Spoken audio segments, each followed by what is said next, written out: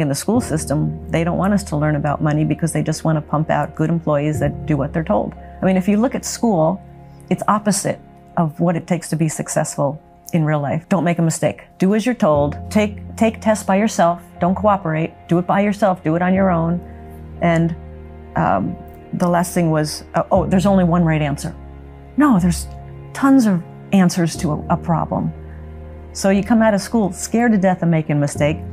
You do everything on your own. You don't cooperate. There's no synergy. There's no brainstorming.